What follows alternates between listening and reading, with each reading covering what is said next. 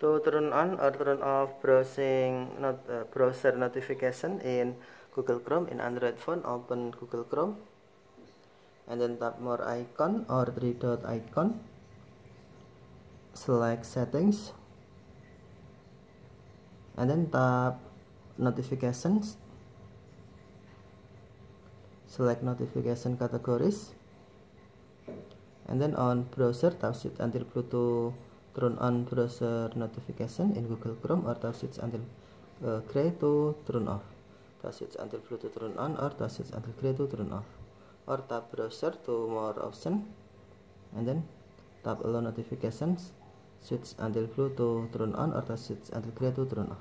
You can also set uh, as alert silent minimize notification lock screen app icon pages and if you select alert you can show as pop-up okay turn on or turn off. Show as pop-up and uh, change sound or turn on or turn off vibrate. Okay thank you for watching. Have a nice day